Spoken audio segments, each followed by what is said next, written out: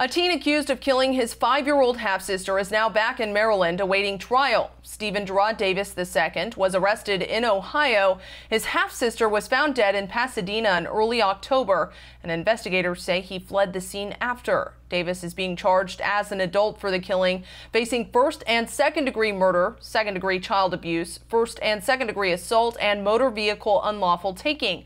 Right now, he is being held in the Anne Arundel County Jennifer Road Detention Facility. Katie Johnston for WJZ.com.